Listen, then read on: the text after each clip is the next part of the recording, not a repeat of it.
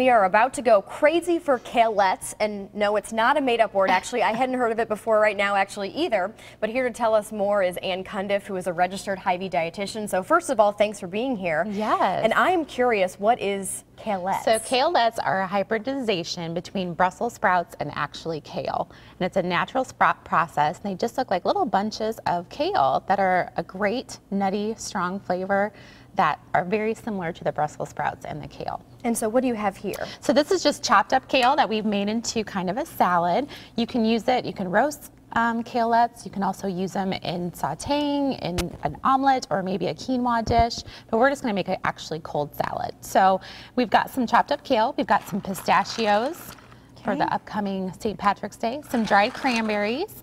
And then we've got some shredded Gouda cheese. Love Gouda cheese. It's and then it is, it's got such great flavor. And then I've made my own little dressing. It's got a little bit of olive oil, uh, mustard, and then there is also some garlic, and we're gonna put some onions in there too. And then just salt and pepper to taste. And any, I assume any type of salad dressing Absolutely. would be great on this, although I know anything homemade is usually better. Absolutely, and you could use some sweet too, so if you wanted to put some honey in there, if you wanted to put some walnuts, anything that has like good nutty flavor very much complements kalettes. So I feel like some people say that kale has kind of that bitter taste, you know, so how would this compare to that, maybe just kale? So when you think about kale, the smaller the kale or baby kale, has a little bit less of a bitter taste. So this is gonna actually be less bitter because it's more of like a baby kale. So it's gonna be very, very palate pleasing. It's not gonna have that aftertaste. And then when you mix it with a little bit of sweet, like the dried cranberries, it actually complements it very, very well. So obviously salad, you mentioned eggs or anything with like quinoa. Quinoa, rice, any side mm -hmm. dish that you might do. You could even saute it and put it into a pasta dish. Mm.